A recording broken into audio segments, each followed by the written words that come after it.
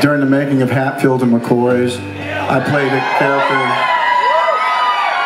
I played a character named Devil and uh, fought in that awful, awful war that I think still haunts us to this day.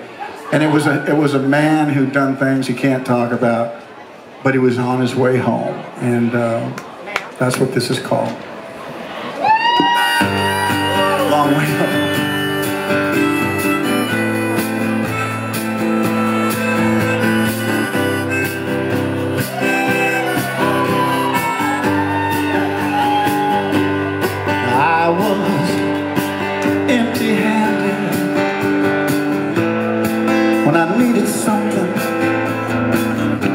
So lives we wasted. It was all or nothing I was left for dead When I was cut to the bone. I've been a, a long, long way from home. I've seen true forgiveness Retro I've been close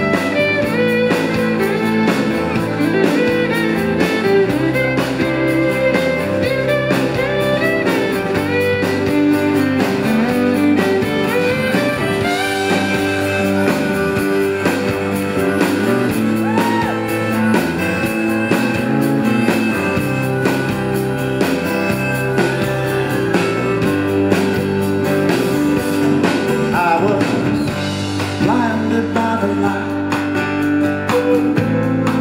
And told darkness I was filled